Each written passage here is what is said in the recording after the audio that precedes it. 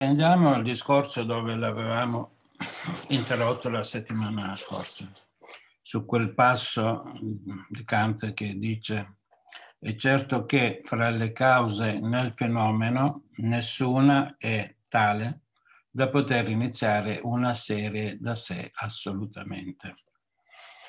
E, ehm, dal punto di vista fisico, eh, perciò dice Kant, la libertà si riduce ad un mero ente di ragione, cioè un concetto vuoto in pratica, o ad, ad una chimera.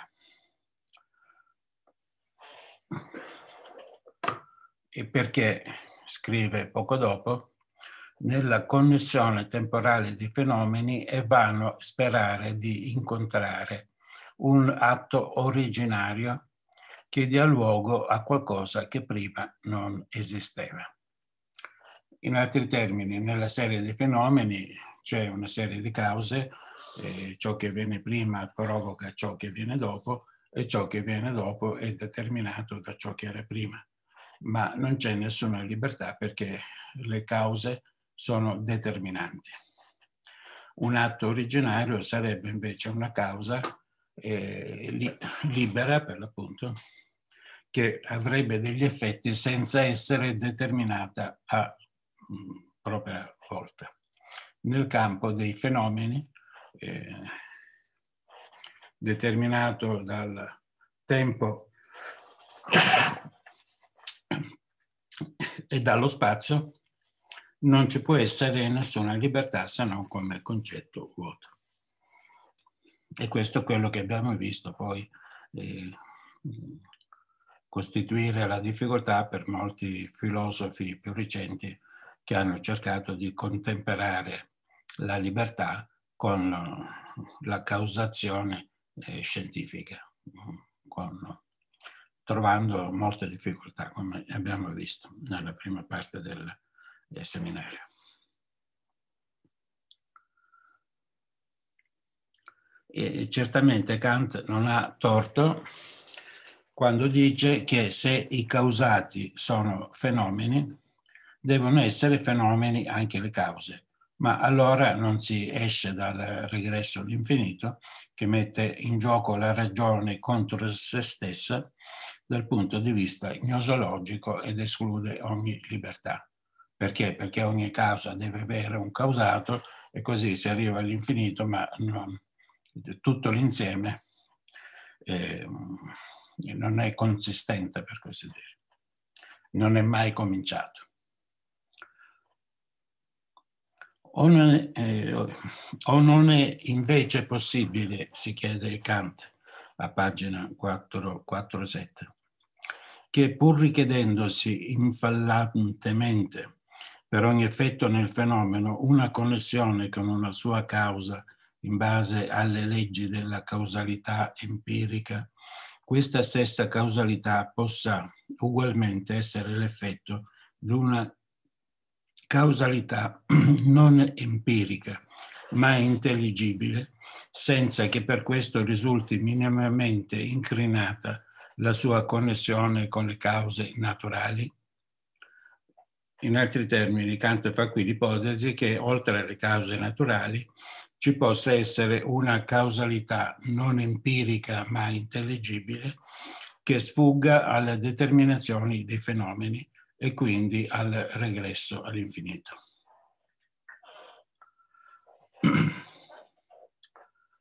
È chiaro che Kant sta cercando qui una connessione che non sia necessitante fra la causa e l'effetto, fra la conoscente e il conosciuto, fra il soggetto e l'oggetto, fra la ragione e la natura e così via.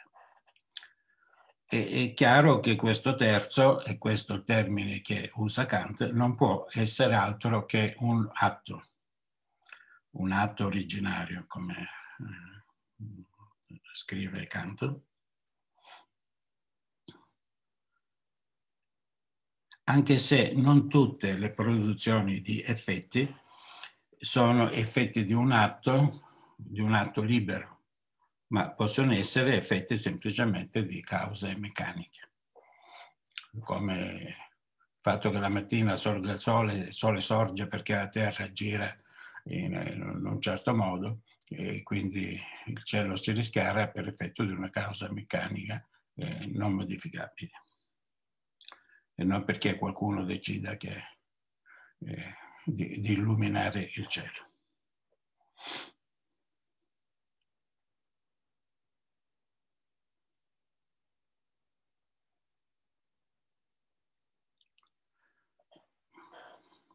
Però in Kant non troviamo che questo atto, che pure nomina eh, spessissimo nel suo testo, abbia una consistenza autonoma eh, dal, eh, dall'ente che causa o dall'ente che è causato.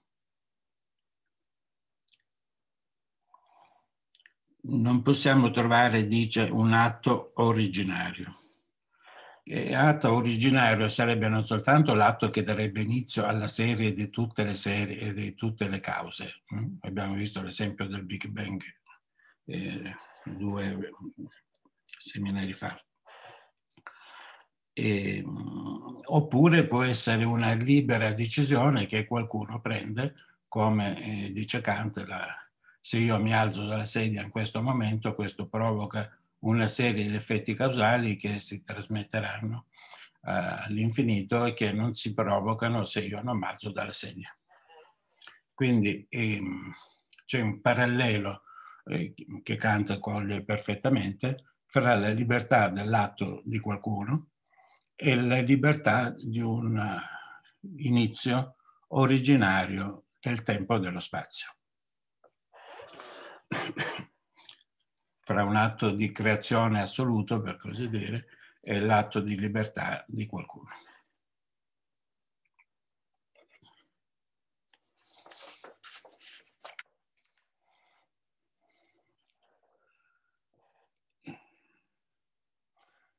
Ed è curioso che il concetto di atto in tutta la tradizione occidentale non sia mai stato valutato nella sua autonomia dall'ente e dalla parola, come invece è accaduto nella tradizione eh, neoplatonica greca.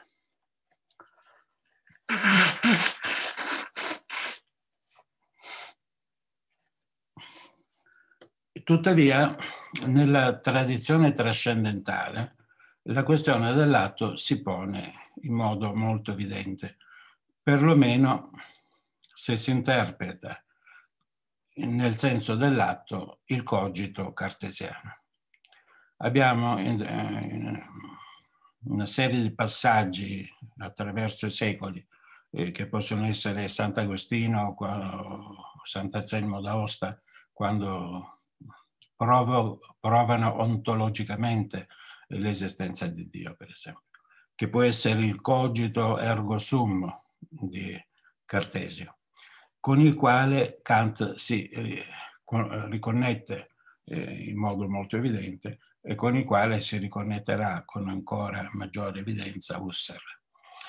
Quando dico che il cogito può intendersi come atto, ebbene perché sembrerebbe in tutta questa tradizione che sia il pensiero, il fatto di pensare a determinare um, eh, l'essere nella tradizione idealistica che rimonta da, da, da Platone eh, sino alla teoria della scienza contemporanea, ma non si vede in questo che il cogito eh, varrebbe come prova dell'essere eh, semplicemente perché è un atto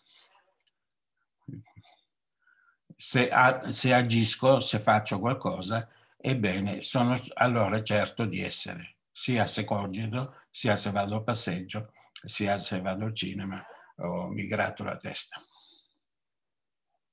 Se sono certo di compiere un atto, sono certo anche di essere, perché l'essere e l'atto si connettono eh, inestricabilmente l'uno con l'altro. Però questo Kant non lo dice.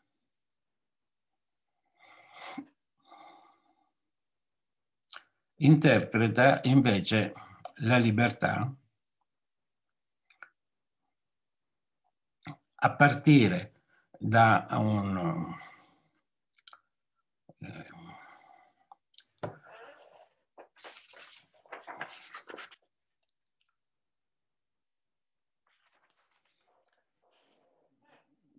partire da qualcosa che ha a che fare, come vedremo, che come vedremo non è altro che l'imperativo etico.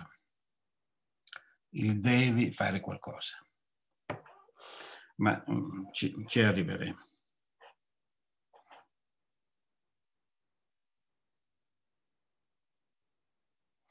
E, mm, se volete, è per questo che per quanto eh, la riflessione di Kant sia un meccanismo assolutamente importante nella tradizione occidentale, proprio perché in qualche modo dimostra che c'è una libertà. Tuttavia il rischio dell'operazione kantiana è di interpretare la libertà in termini di obbligo morale. Insomma, è una libertà alla prussiana, vestita da eh, eh, soldato del Kaiser, per così dire. In, in Kant non c'è ancora questo rischio perché eh, Kant è molto illuminista ed è un accanito internazionalista. Ma il rischio della, de, de, della versione eh, tedesca peggiore in qualche modo nel testo di Kant c'è.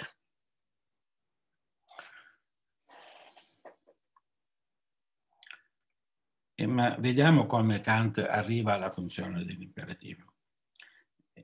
Scrive due pagine dopo. Ora che la ragione sia in possesso di una causalità o che almeno noi ce la rappresentiamo come tale, appare chiaro dagli imperativi che nell'intero dominio pratico assegniamo come regole alle nostre attività. In altri termini, è come se eh, Kant dicesse, se noi adottiamo degli imperativi di comportamento, per cui distinguiamo il bene e il male, eh, il diritto dalla, eh, dall'azione lodevole, eccetera, eccetera, questo vuol dire che una libertà c'è, perché senza libertà non ci sarebbe nessuna possibilità di eh, elaborare un imperativo.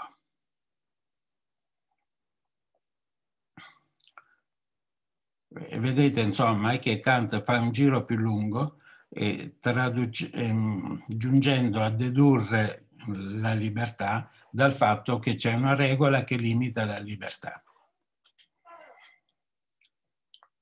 Il dover essere, continua, esprime una specie di necessità e di connessione con fondamenti che non si presenta in nessun, mm, scusate, in nessun altro luogo nell'intera natura.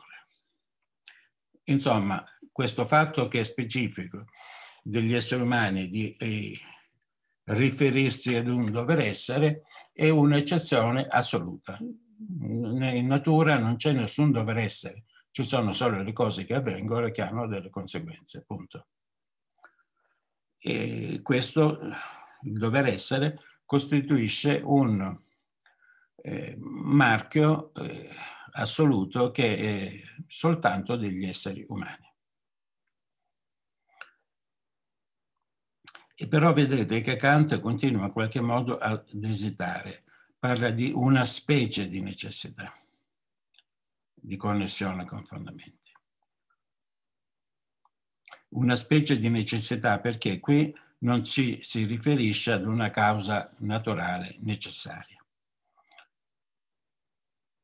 Ora, se c'è una causa naturale non c'è nessuna libertà, però la causa è, è assolutamente necessaria in questo caso. E se c'è una libertà, c'è una specie di necessità che non è una vera necessità perché naturalmente tutti gli esseri umani possono commettere più atroci delitti e questo non contraddice in nulla la necessità naturale.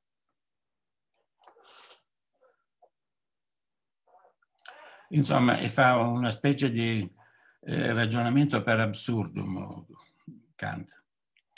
Eh, se c'è una legge che toglie una libertà, allora ne possiamo dedurre con sicurezza che ci deve essere una libertà.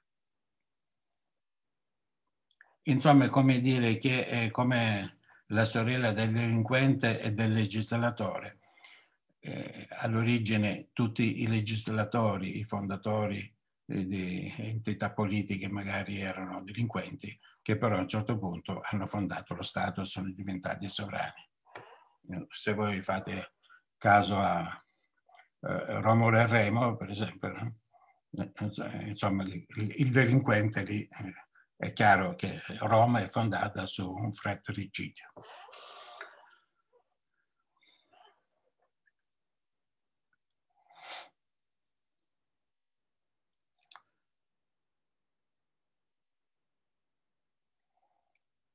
Orbene, dice Kant, nell'ipotesi che la ragione possegga una causalità rispetto al fenomeno, sarebbe possibile ritenere libera la sua azione pur risultando essa nel suo carattere empirico, modo di sentire, rigidamente determinata e necessaria? Insomma, eh, capite cosa sta, si sta chiedendo Kant. Se tutte le cause dei fenomeni sono necessarie, a fianco a questo è possibile interpretare come libera una serie di cause di fenomeni che procedono però da un atto non necessario?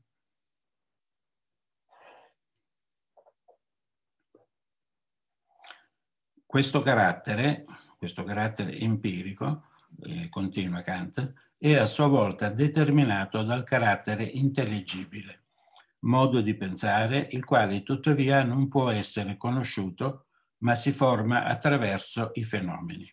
Questi però non ci fanno immediatamente conoscere che il modo di sentire carattere empirico. Insomma, quando noi pensiamo a quello che noi facciamo, considerando empiricamente i nostri pensieri, le nostre azioni, le pensiamo sempre come fenomeni e non siamo mai sicuri di poter conoscere in questo eh, il principio del nostro atto, se non come atto necessario. E badate bene, questo è un punto importante che riprenderemo dopo perché dal punto di vista etico è fondamentale.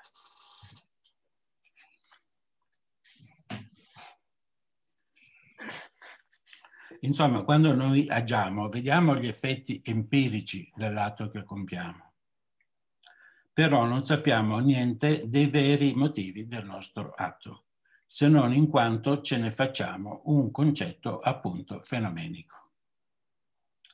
Infatti, Kant aggiunge in una nota, l'autentica moralità delle azioni, merito e colpa, persino quella del nostro stesso operare, ci resta pertanto del tutto nascosta. Insomma, facciamo un esempio, ehm, che poi magari eh, riprenderemo dopo. Se troviamo un poveretto che ci tende la mano per chiederci la carità e noi gli diamo un euro, gli diamo un euro per togliercelo davanti perché ci rompe le palle o gli diamo un euro per amore del prossimo? Non lo possiamo mai essere, di questo non possiamo mai essere sicuri. Perché se anche pensiamo che diamo un euro perché siamo tanto bravi cristiani eh, amiamo il prossimo tuo come te stesso, non possiamo dircelo perché se, lo, se ce lo diciamo eh, diventiamo presuntuosi, quindi andiamo fuori dal compito etico. E questo non lo dice Kant in, nei termini in cui ve lo sto dicendo io, ma il problema che si pone mi pare chiaramente questo. È come se la moralità non potesse che rimanere eh, nascosta nelle nostre stesse decisioni.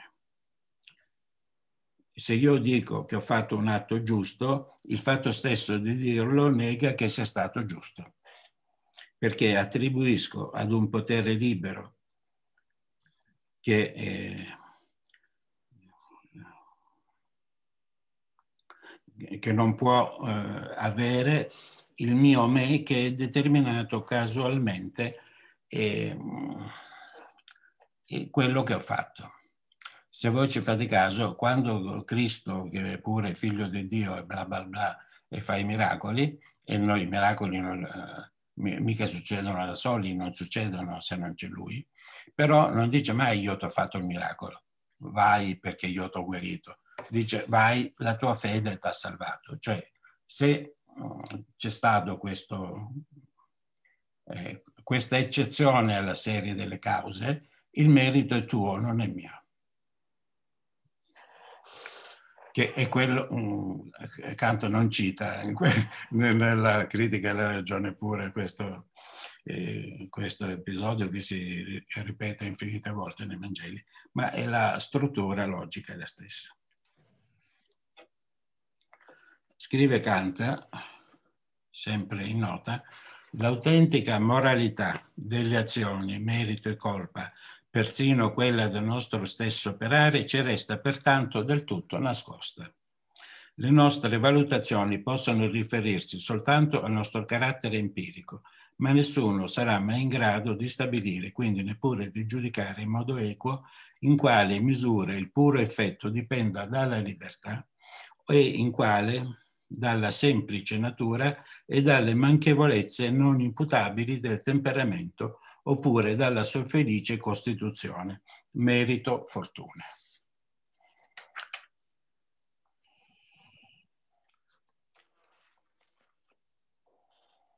Insomma, quando noi valutiamo le nostre azioni, non siamo in grado di vedere se esse scaturiscono da un'autentica moralità e quindi sono libere, oppure se sono determinate dalla nostra capacità e dai nostri difetti sensibili.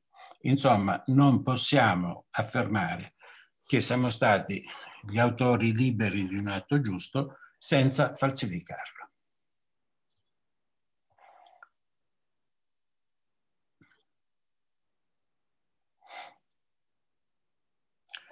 E, e, questa cosa non a caso vi facevo prima l'esempio evangelico del miracolo, perché c'è una sola eh, situazione nel mito del, della giustizia dell'atto, eh, dell'atto santificante, che è il, il giudizio finale.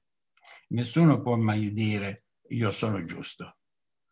Che uno sia giusto eh, o dannato, che eh, abiti nella città celeste o eh, sia perseguitato dai diavolacci tutto il tempo, lo si saprà soltanto nell'ultimo giudizio, eh, quando il giudizio che ciascuno avrà formulato sugli altri, sugli altri ricadrà sulla sua testa. Mm? Perché persino nell'ultimo giudizio Cristo dice non sono venuto per giudicare.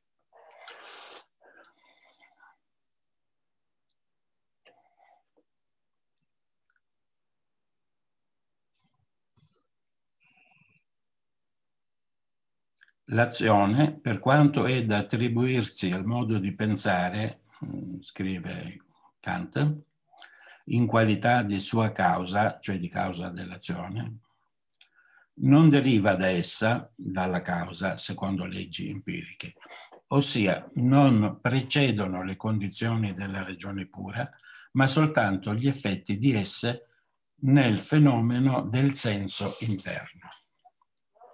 Cioè, se noi consideriamo i nostri pensieri, i nostri atti come fenomeni, per esempio perché eh, li percepiamo con il senso interno, eh, considerando per esempio se le diamo un euro perché il, eh, ci rompe le balle il medicante o perché amiamo il prossimo, anche in questi casi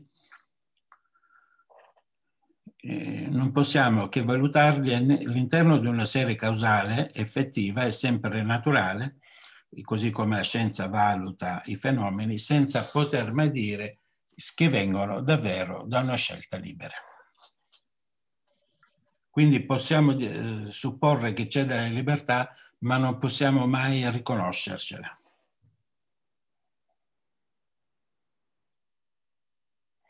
L'enunciato io sono libero, e se voi ci fate caso è un enunciato particolarmente pro problematico anche dal punto di vista clinico. E, e di solito io sono libero eh, introduce immediatamente ad una dipendenza eh, isterica o addirittura eh, eh sul versante della tossicodipendenza, del gioco d'azzardo, eccetera, eccetera. Non c'è niente che distrugga tanto la libertà quanto la presunta assunzione della libertà.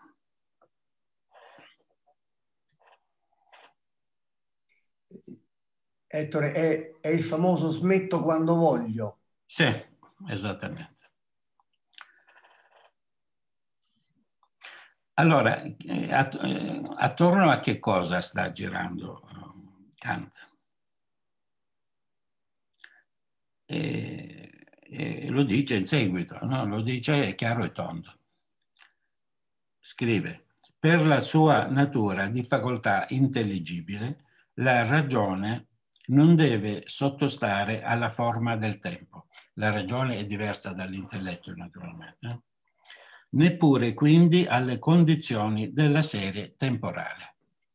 La causalità della ragione nel carattere intelligibile non sorge, cioè non si costituisce in un determinato tempo per produrre un effetto. Insomma, papale, papale perché la dice proprio così, la ragione, a differenza dell'intelletto, non è temporale, non è causale, ma è sovratemporale. Quando tu ragioni sei superiore a tutto ciò e si produce, in altri termini, una discontinuità radicale nel campo del, eh, in qualunque campo in realtà, no? nel campo della causalità, nel, mondo, nel mondo stesso. Se siamo liberi, allora c'è una rottura, c'è una discontinuità radicale. Se così non accadesse, infatti, saremmo di nuovo nel campo dei fenomeni in cui non c'è libertà. Scrive di nuovo. Potremmo dunque dire, se la ragione può avere una causalità rispetto ai fenomeni, essa è la facoltà che dà un primo inizio alla condizione sensibile di una serie empirica di effetti. Infatti la condizione che ha luogo nella ragione non è sensibile e non ha quindi un inizio essa stessa. Si dà allora quello che non fu possibile riscontrare in alcuna serie empirica, che la condizione di una serie successiva di eventi, come che cosa succede se io decido di alzarmi dalla sedia, questo lo dico io non, fra parentesi, che la condizione di una serie successiva di eventi possa essere empiricamente incondizionata. Qui infatti la condizione sta fuori della serie dei fenomeni, essendo nell'intelligibile, e sfugge alle condizioni empiriche ed a qualsiasi determinazione temporale di cause precedenti. Tuttavia questa stessa causa, per un altro aspetto, rientra nella serie dei fenomeni. Vedete che Kant sembra esitare. Mm?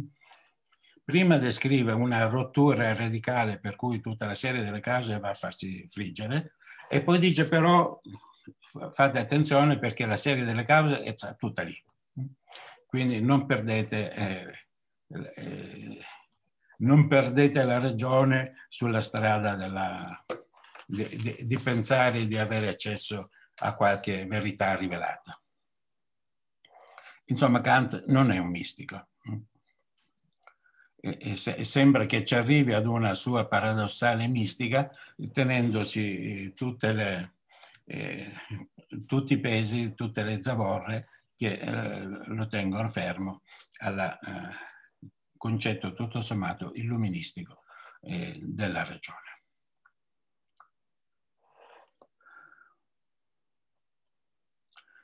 Se per un verso la ragione sta nei limiti causali della determinazione nei quali ehm, non c'è libertà, Per un altro verso, però, sta fuori dalla serie dei fenomeni, essendo nell'intelligibile, e sfugge alle condizioni empiriche e da qualsiasi determinazione temporale di cause precedenti. Pagina 452.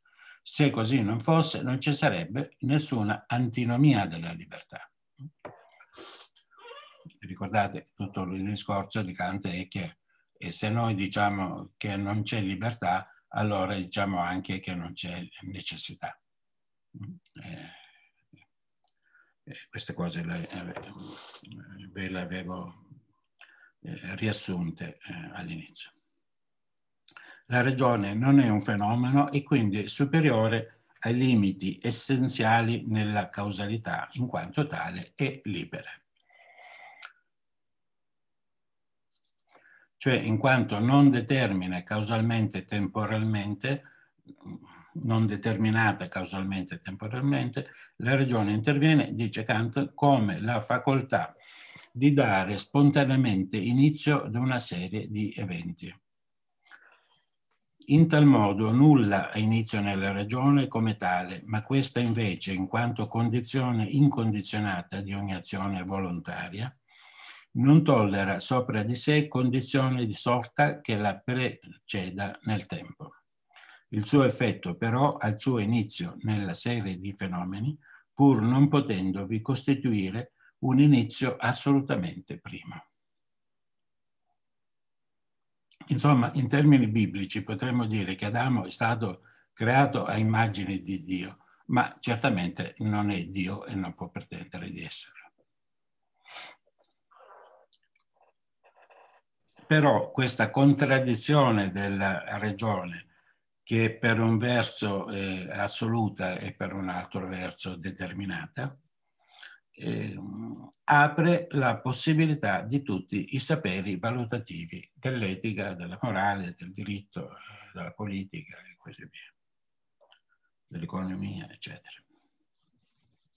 È per questo che eh, Kant fa seguire un esempio, un comportamento menzognero che non è condannabile se non perché si suppone che la ragione sia libera di agire indipendentemente dalle sue cause. La ragione è presente unica in ogni azione dell'uomo, in ogni momento del tempo. Tuttavia essa non si trova nel tempo e non viene a trovarsi, per così dire, in un nuovo stato in cui prima non fosse. Insomma, il sovratemporale irrompe nel tessuto compatto della causalità. E se così non fosse, non ci sarebbe eh, nessun mm, mo motivo eh, per distinguere il bene dal male, eh, per avere un'etica, una morale, eccetera, eccetera.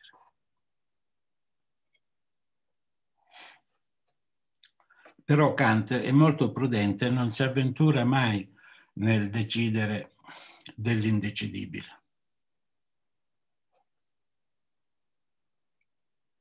La ragione è presente e unica in ogni azione dell'uomo, scrive, in ogni momento del tempo. Tuttavia essa non si trova nel tempo e non viene a trovarsi, per così dire, in un nuovo stato in cui prima non fosse.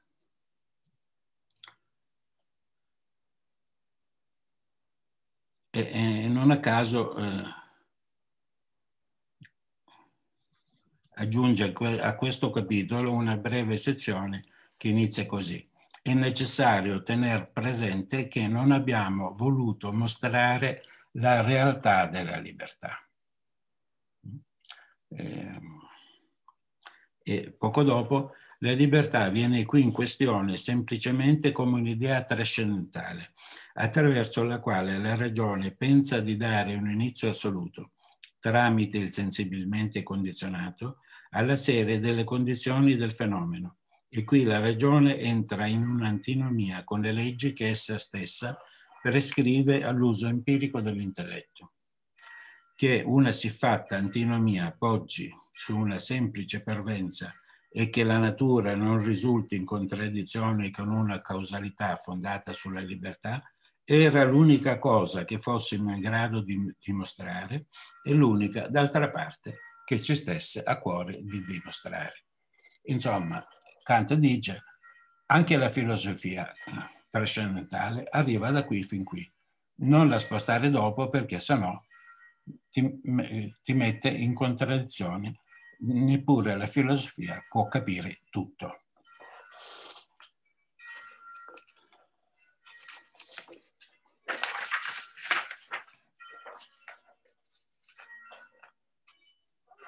Non so se sono riuscito a spiegarmi per cercare di tradurre in modo più eh, immaginabile, riprendo l'esempio della, della, de, dell'elemosina. Dicevo, se regalo un euro, eh, posso farlo per motivi diversi, sia perché mi sembra giusto farlo, sia per obbedienza ad un criterio morale legale. E, ehm, anche nei Vangeli è così. Eh, le, le parole di, di, Cristo sono quando fai l'elemosina non sappia la tua destra quello che fa la sinistra. Cioè neanche tu devi dire ti sto facendo l'elemosina, non ti devi attribuire nessun merito di questo. Devi farlo e basta.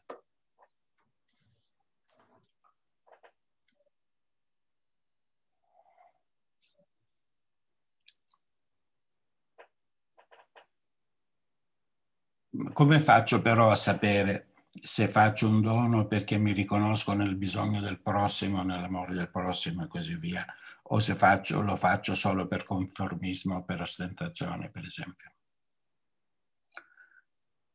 Non è l'atto in sé che determina la cosa.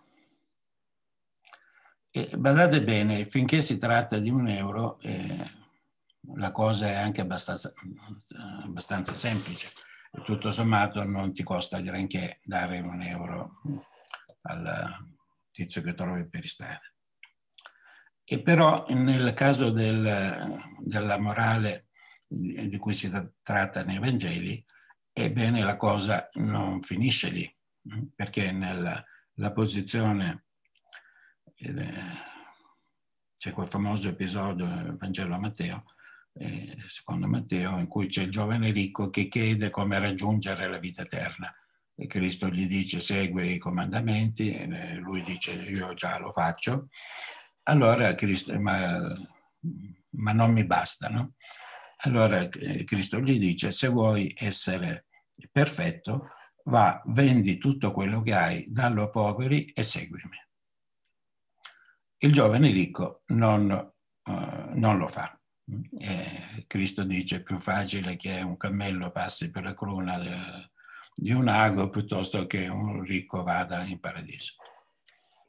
La, la sapete, l'avrete sentita centomila volte, no? E, e, questo concetto del, della perfezione, de, della teleiotes, che, eh, che eh, mi, mi preme di sottolineare la teleiotes, la perfezione, nessuno se la può attribuire.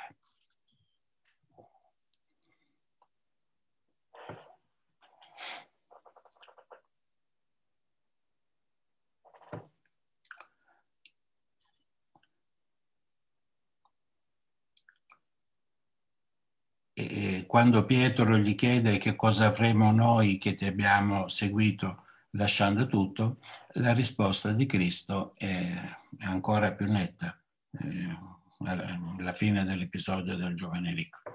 In verità vi dico che voi che mi avete seguito nella rigenerazione, palingenesia, palingenesi sarebbe, quando il figlio dell'uomo siederà sul trono della sua gloria, siederete anche voi sopra dodici troni per giudicare le dodici tribù di Israele.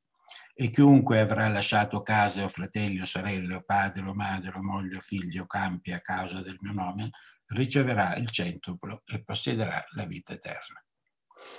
E questa è la, la matrice, la rappresentazione di tutti i giudizi universali in cui c'è Cristo in mezzo ai dodici apostoli tutti schierati in, in bell'ordine.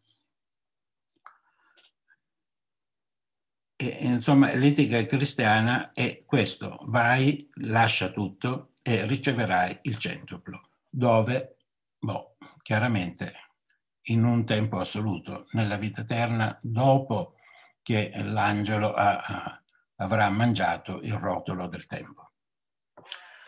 E non vi consiglio di andarlo a raccontare ai vostri analizzanti, ben inteso, i quali vogliono avere una vita decente al di qua del, eh, eh, dell'Apocalisse e credo che ne abbiano anche qualche, qualche diritto.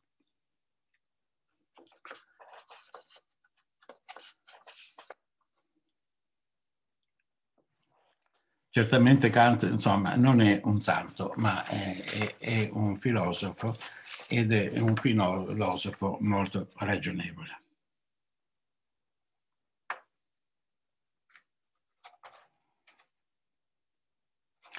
Che capisce benissimo che alla critica della ragione eh, pura doveva aggiungersi una critica della ragione pratica.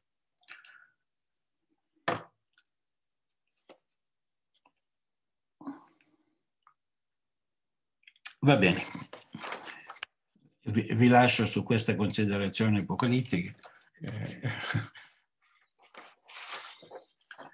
spero di non avervi spaventati troppo, però eh, quando si parla della libertà, eh, eh, insomma, è un oggetto molto scomodo perché o è una balla e allora è uno strumento di oppressione, oppure si va diritti, diritti al giudizio universale cioè alla formulazione di un giudizio che, mm, che noi non possiamo dare.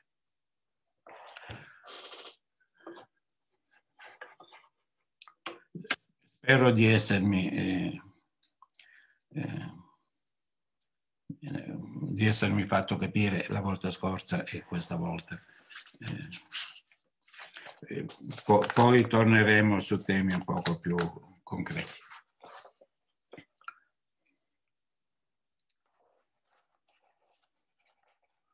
Del resto Luca Lupo ci parlerà la settimana prossima di, di Schopenhauer e, e, poi torneremo insomma là. Ecco.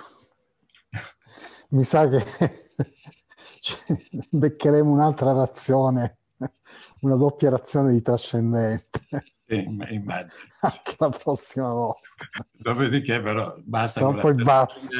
E torniamo al di qua del l'olio di ricino della trascendenza. no, non sia mai. No, eh, se posso fare un'osservazione, Ettore, sì. a proposito dell'oscillazione di cui parlavi di Kant, no? tra stare dentro i confini dell'intelletto e eh, cercare di eh, vedere quali sono le, le ragioni della ragione che è caratterizzata eh, da una aspirazione che ha a che fare con la dimensione chiaramente eh, inconscia, nel senso che eh, eh, Kant attribuisce alla ragione un, eh, usa un'espressione particolare nell'introduzione a, alla critica alla ragion pura, è caratterizzata da un'incessante aspirazione. Mm. Cioè, ed è, è paradossale, no? Perché alla ragione, che dovrebbe essere dunque, come dice la parola stessa, qualcosa che ha profondamente a che fare con eh, la capacità di dare conto eh, e di trovare misure e di misurare, e ha a che fare con l'atto stesso di misurare, la ragione è, è mossa, caratterizzata, eh, diciamo che fa parte della natura della ragione eh, l'avere un'incessante aspirazione. E, e, dunque eh, Kant dice in maniera inequivocabile in questo modo che la ragione è legata alla dimensione del desiderio. Certo, assolutamente. E lo dice proprio all'inizio del... Assolutamente, sì. All'inizio è ragione pura. Cioè la ragione è caratterizzata da un'incessante aspirazione. E in questo modo sta dicendo chiaramente che la ragione è irrazionale. Mm è, è, è un'evidente dichiarazione preliminare sulla natura della ragione. Su questo crinale di eh, oscillazione tra eh, irrazionalità della ragione e razionalità dell'intelletto, perché di questo si stiamo trattando, l'intelletto che può operare sull'esperienza sensibile eh, ha effettivamente mh, mm, eh, eh, opera effettivamente in maniera razionale. La ragione, che opera su concetti, opera su idee, opera nella dimensione del sovrasensibile, è caratterizzata da questa cifra dell'incessante aspirazione che la fa uscire fuori dai suoi, che non le fa avere limiti. Mm. Cioè, la ragione è eh, un intelletto che non ha limiti, se vogliamo usare questa immagine. A differenza dell'intelletto che trova il limite nel mondo esterno. Eh, ora, eh, una cosa del genere, cioè Kant e, e Freud si eh, iscrive su questa stessa linea. Quando al termine della trentunesima lezione sulla scomposizione della personalità psichica mh, sta per introdurre, eh, ridisegna attraverso la seconda topica eh, i confini tra, ridisegna attraverso la seconda topica la prima topica, no? Mostrando che eh, l'io non coincide con la coscienza, ma che ci sono parti dell'io che sono inconsce. Quando, subito dopo aver detto questa cosa, eh, dice, ci è anche facile, a proposito della pratica analitica, dice, ci è anche facile immaginare che certe pratiche mistiche possano riuscire a rovesciare i, i normali rapporti fra i singoli territori della psiche. Così che, per esempio, la percezione sia in grado di cogliere eventi profondamente radicati nell'io o nell'es, che le sarebbero altrimenti inaccessibili, che non è qualcosa di molto diverso dal dire che, può, che la ragione possa iniziare dei, eh, delle concatenazioni eh, causali eh, nella dimensione fenomenica. Non è molto diverso. E poi continua.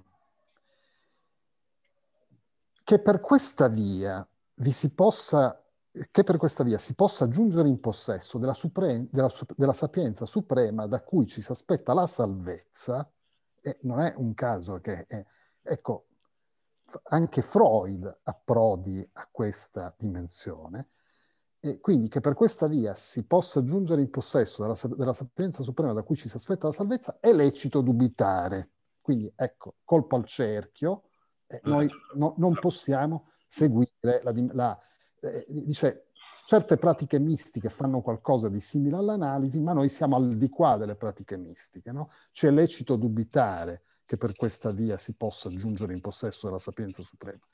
E poi subito dopo dice, tuttavia, bisogna ammettere che gli sforzi terapeutici della psicanalisi seguono una linea in parte analoga. Più chiaro di così. Eh, cioè, veramente... Eh, perché Freud era proprio kantiano, eh? non so, so, non so quanto lo sapesse, non so quanto l'avesse letto Kant però certi temi credo che comunque gli erano arrivati, però certamente aveva letto Schopenhauer. Certamente c'è questa, insomma, è come si può vedere in questo testo, questo movimento no? di apertura, ritrarsi chiudersi no, rispetto a questa dimensione mistica e riaprirsi con una cautela. Ecco, diciamo che c'è questo movimento di fronte al problema, poi di fatto eh, dell'accedere a una dimensione libera eh, dal fenomeno.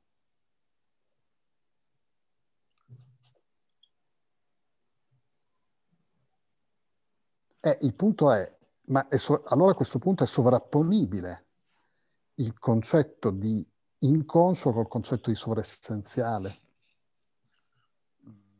Non mi spingerei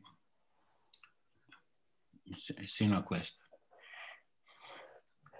Scusate, posso intervenire? Cerco di fare una domanda e fra tutte le suggestioni che mi sono venute anche dall'intervento di Luca, perché anch'io stavo arrivando lì a dire, allora, esattamente su quel punto in cui Kant non si sbilancia, no? lì ci arriva l'inconscio. Eh, scusa, scusa, se ti interrompo, eh, per finire la risposta che stavo dando prima, poi ti lascio parlare.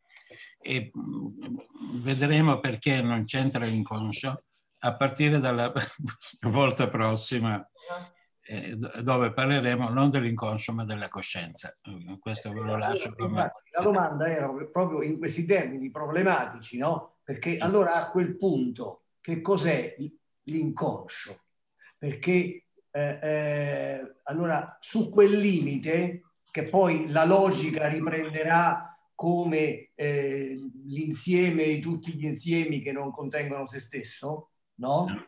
Ecco, allora Lacan lì dice, vabbè, lasciamo perdere, l'inconscio è strutturato come un linguaggio, no? E, e il problema ritorna in quella che Luca Lupo un po' di interventi fa chiamava la trappola linguistica, no? Che ti permette di spostare, però mi veniva in mente proprio questa, cioè se non ci fosse lì un salto, cioè mettere il linguaggio a quel posto lì, no? Eh, come se fosse effettivamente eludere completamente nella questione del paradosso linguistico, e cioè nel tentativo di dire quell'ultimo punto che è indicibile, no? rimandandola sul conto dell'inconscio. Sì. Quindi mi, mi, sento in sintonia col problema che introduce con la domanda che introduce Luca Lupo, allora lì l'inconscio e il solo essenziale sono per caso sovrapponibili? E un, un'altra piccola... Eh, sì, il problema mm, è che dell'inconscio come del sovraessenziale non, si non puoi dire che, co- che, cosa sono se non essenzializzandoli, eh, traducendo l'inconscio in coscienza e il sovraessenziale in essenziale dopodiché quando ne parli li hai persi. Esatto, esatto, esatto. È come sembrava una stupidaggine quell'esempio del tossicomane che dicevi tu prima, no? Eh, io sono libero e quello diventa immediatamente tossicodipendente. Ma dire, avere la presunzione di dire io sono libero, no? Vuol ah. dire, in fin dei conti, io sono quel punto di eccezione che è indicibile, che è una sciocchezza eh, assoluta. assoluta dire io so, sono libero è come dire io sono Dio. Esatto. È chiaro che nessuno lo può dire se, se, se ha un minimo di, di ragione nella zucca.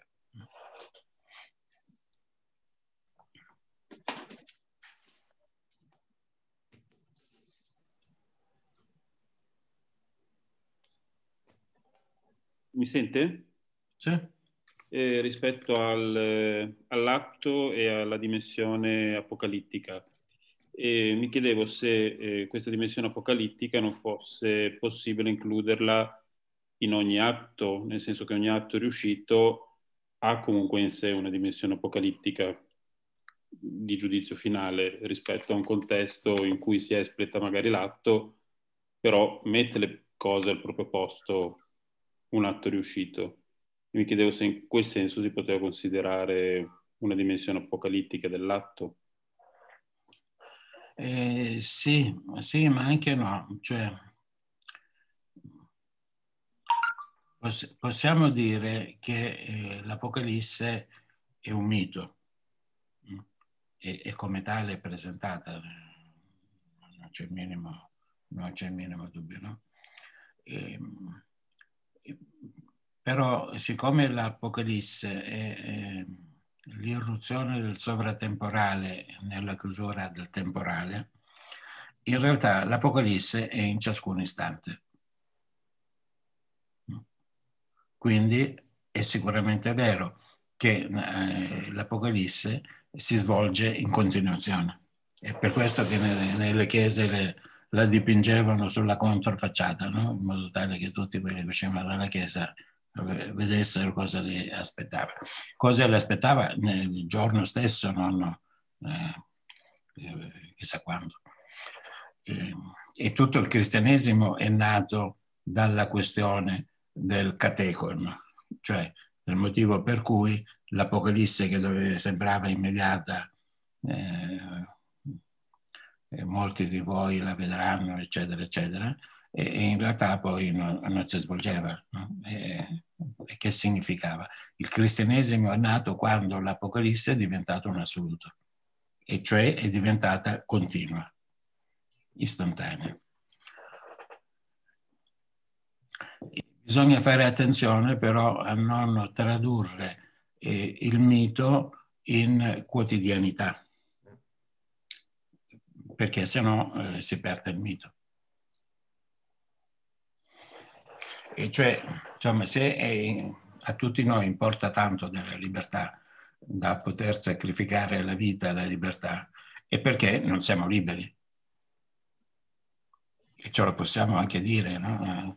Eh, non sono liberi né, né se, se, qualcuno si immagina che gli psicanalisti siano liberi, eh, campo cavallo. Eh, gli psicanalisti sono degli esseri umani come tutti gli altri e, e no, non sono liberi. Però hanno questo moto eh, kantiano, se volete, eh, eh, per rivendicare il dovere della libertà. Dico il dovere, non il diritto. Non so se le ho risposto. Ok, grazie.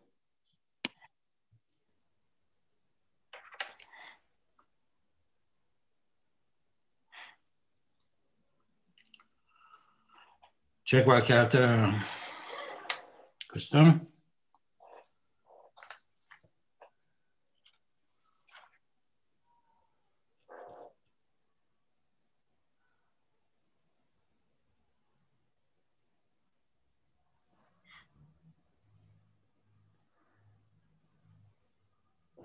Se non vado troppo mm, fuori da, dalle tematiche giustissime che riguardano la questione della libertà, vorrei eh, un, po' tornare a, alle cose che sono state dette la volta scorsa, ma anche conseguentemente questa volta, e, e sulle quali, rispetto alle quali mi domando, anche l'altra volta provavo a, a dire, eh, quando ti trovi eh, davanti a, a, dei bambini estremamente gravi, quello che vedi è che eh, la possibilità che nasca un, un pensiero sulla causalità va esattamente insieme con la possibilità che il bambino produca atti. Non ci sono bambini che producono atti con un senso, con un significato, che si articolano senza che il bambino eh, conosca, riconosca, mostri di comprendere la causalità. Quindi da questo punto di vista la possibilità della causalità e la possibilità della libertà, come mi pare oggi sia stato detto anche in modo più preciso, vanno sempre insieme impossibile veramente disgiungerle. Certo. E allora, eh, diciamo, grazie a, a questo seminario, eh, in, in, questa settimana eh, mi sono chiesta se, se si poteva fare un passettino oltre e allora magari le cose che sono sempre state sotto gli occhi appaiono piuttosto velocemente in fondo, eh, come dice Piaget, ma come dice anche Lacan nel seminario 4, del quale però non sono riuscita più a ritrovare il punto, eh, il bambino, a, a, un certo punto, il bambino normale, eh, nominando la scoperta eh, della possibilità di una causalità, ad esempio il bimbo eh, che tocca per neonato, stiamo parlando dei bimbi primi mesi, che tocca per caso un, un campanellino, non sa ancora che è lui che l'ha toccato. Eh. E a un certo punto scopre che è lui che l'ha toccato. E allora mh, mi chiedevo se in fondo eh, questo sovraessenziale, ovvero l'atto, l'atto perché l'atto nasce in quel momento lì in cui il bambino sa che è stato lui. È, be- è bellissima e, questo esempio che ha fatto è, e, e, alla fine del mondo. Conclude. L'atto non è che l'inclusione del soggetto che produce conoscenza. In fondo non è che un'inclusione. Assolutamente. E questa inclusione del soggetto che produce conoscenza è quella cosa che permette a noi di dimenticare noi stessi nel nostro atto, che è questa la libertà, perché i nostri bambini autistici quello che non possono fare per cui resta sempre incompleta è questa dimenticanza. Sì. E quindi sono sempre estremamente in ansia, estremamente vigili, perché sanno in modo drammatico quello che noi ci possiamo dimenticare. Sì. Ma, ehm, ripeto, ha dato un'illustrazione molto molto precisa di quello che ho detto io. Io mh, certamente non avevo pensato ai bambini autistici quando ho preparato questo seminario, eh, eh, però mi sembra estremamente, eh, estremamente significativo, perché il fatto che il bambino non autistico come qualunque bambino non sa che è lui che suona il, fa suonare il campanello, e in realtà quello che succede anche agli adulti.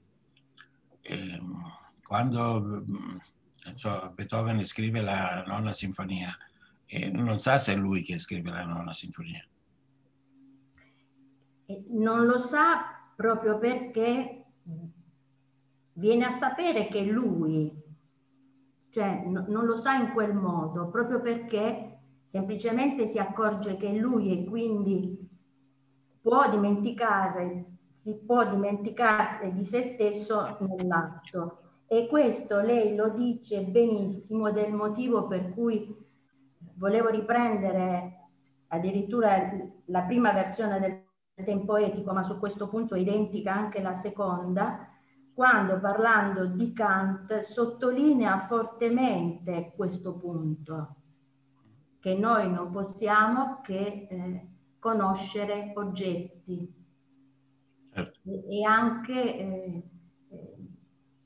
eh, ed è lì eh, diciamo questa apertura importantissima eh, rispetto alla possibilità di ragionare su, termini, nei termini di una neuropsicologia che sia di tipo trascendentale. Sì.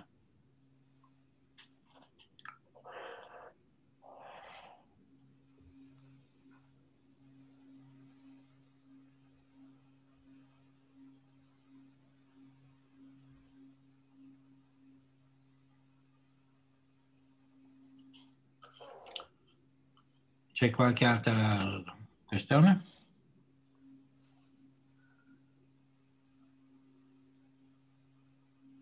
Una cosa, se è possibile. Quando Kant parla della ragione di tutte le difficoltà di cogliersi nel suo punto originario d'atto, apre qualcosa che ha a che fare col desiderio? Mm. Nella regione pura non ne parla. In realtà sta parlando di quello, è tutto chiaro, ma, ma non lo nomina. Se non nei termini della incessante aspirazione di cui dicevamo prima. Eh sì, cioè, inteso come punto che caratterizza in maniera essenziale la ragione. Cioè la ragione coincide con, le, con la incessante aspirazione. Cioè, poi non è un caso no, che eh, Lacan ha scritto quell'articolo Kant con Sad. Mm. Perché se ci fate caso, Sad assomiglia ben poco a Kant, proprio non ci assomiglia manco per niente. Ma proprio per questo in realtà eh, è come se facessero lo stesso discorso ma insomma questa questa è una questione su cui si potrebbe tornare. E, no, riflettevo una cosa, che eh, Kant è nato a Königsberg, eh, Schopenhauer è nato a Danzica, eh, Freud proveniva da una famiglia dalla Moravia che proveniva da una famiglia che, di ebrei che, che stava in Galizia. Cioè appartenevano a un mondo che è scomparso. Se ci fate caso, con la seconda guerra mondiale questo, questo mondo no, è stato completamente cancellato. c'è una specie di, di veramente di, di, di, come se ci fosse una maledizione. No?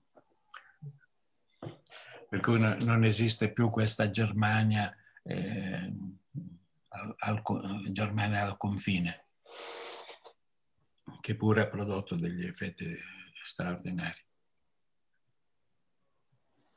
Eh, c'è una cosa che non mi è chiara rispetto a quello che diceva Maria, no? E quando diceva Maria ehm, che eh,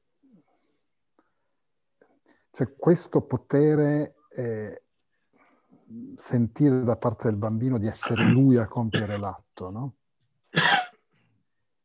E implica anche la possibilità di una, del, dell'assu, del, di, dell'assunzione di una responsabilità rispetto al proprio atto. Nel bambino assolutamente no, cioè nel bambino è la nascita, semplicemente quello che mi sembrava apparisse chiaro è che la nascita dell'atto e la nascita della conoscenza sono la stessa cosa.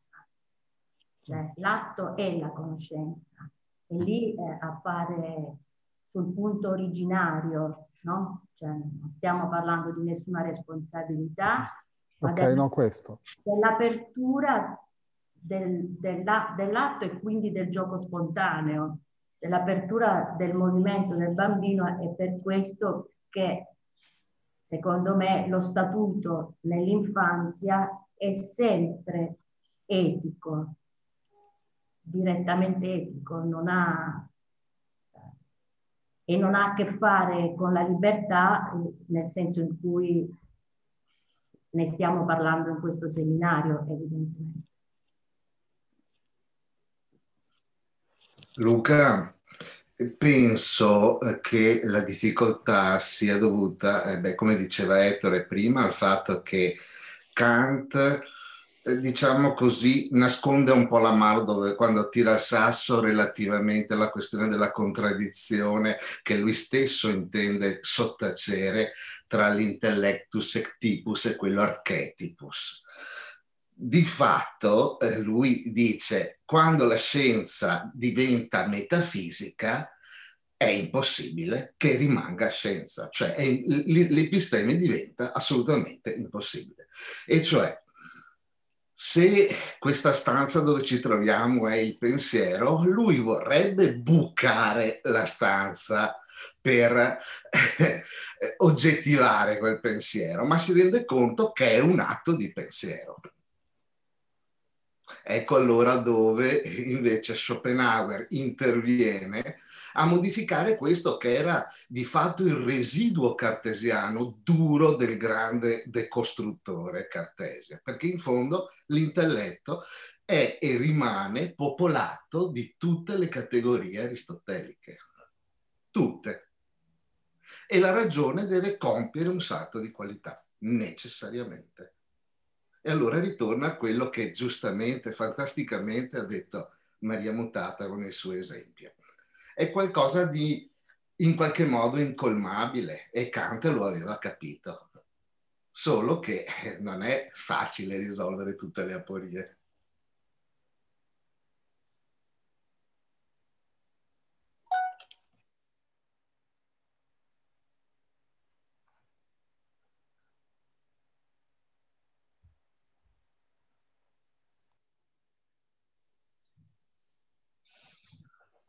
C'è qualcun altro?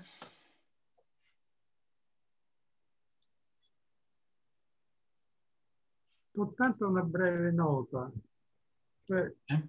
Eh, lei, mi, mi, suscitava quando lei ricordava che questi ambienti, Königsberg, Kant, eccetera, i padri di generazioni, sono finiti.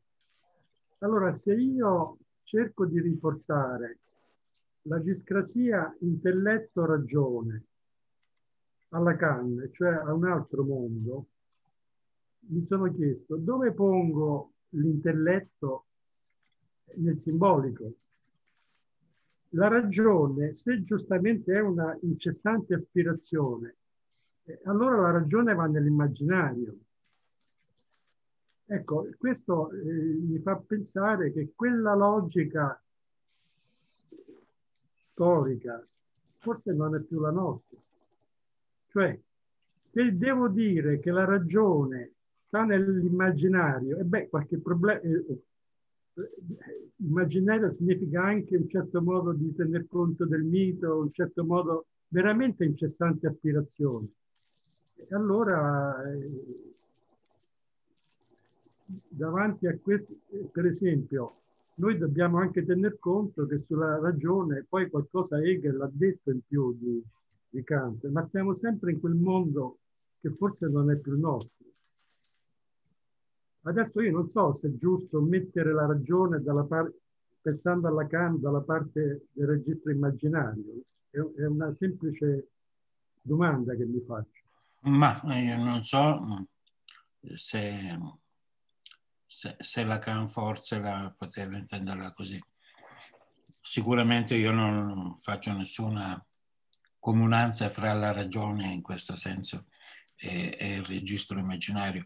Faccio la connessione piuttosto fra la ragione e la parola, il logos. Per questo citavo Hegel, certo. Sì. Eh sì, ma c'è proprio con Hegel la ragione diventa qualcosa in più dell'incessante aspirazione. Ecco, era solo eh, questo che pensavo. Di... È chiaro anche perché il cambio paradigmatico con Hegel, eh, l'ultimo grande metafisico, eh, sì c'è anche Heidegger, però Heidegger eh, ripercorre eh, in buona parte il pensiero di Hegel, è, è che eh, per Kant c'è ancora la realtà, rimane, il fenomeno c'è, è per, per eh, l'idealismo, no? Lacan se ne rende per conto e infatti introduce il reale, cioè reintroduce la questione che Kant era arrivato a porre anche se in termini poetici e Hegel non riusciva a risolverla se non dialettalizzando, se non però togliendo la realtà. Cioè per l'idealismo la realtà non c'è, è tutto nel pensiero, è lo spirito del pensiero. È lo spirito del tempo, è lo spirito divino, lo zeitgeist, quello che volete. Sì, d'accordo, giusto. Anche se eh, in, in Hegel eh, la ragione diventa propriamente ragione quando è ragione attiva, cioè quando è legata letteralmente all'obiettivarsi dell'atto. Questo non va neanche dimenticato, perché se la ragione non è attiva, te ne stai dentro eh, circoscritto, cioè se, sei nel, eh, se la ragione non è attiva sei nel fantasma, sei nel cavaliere dell'intelletto che si contrappone al, al corso del mondo. E la ragione attiva è quella che eh, invece eh, fa irrompere il suo essenziale nel corso del mondo. Cioè qui anche Hegel in realtà eh, eh, dà una bella sterzata. Eh. Cioè la ragione propriamente detta per Hegel è la ragione attiva che poi introduce all'etico. Mm. No, non a caso da Hegel si è andato a finire Marx. Vabbè, direi eh, eh, eh, cerchiamo di, di lasciar perdere argomenti filosofici, se no eh, possiamo dire tutto. Eh, eh, sono molto importanti chiaramente queste considerazioni, ma bisognerebbe calibrarle di più e credo che non potremo farlo. E, vedremo la prossima volta cosa ci racconta di Schopenhauer. Come la, la, la libertà è un mistero. Mm. Che poi in realtà è Malbranche, ma vedremo. Sì. Bene, arrivederci allora settimana prossima. Arrivederci, grazie. Arrivederci, grazie. Grazie. Grazie. Arrivederci.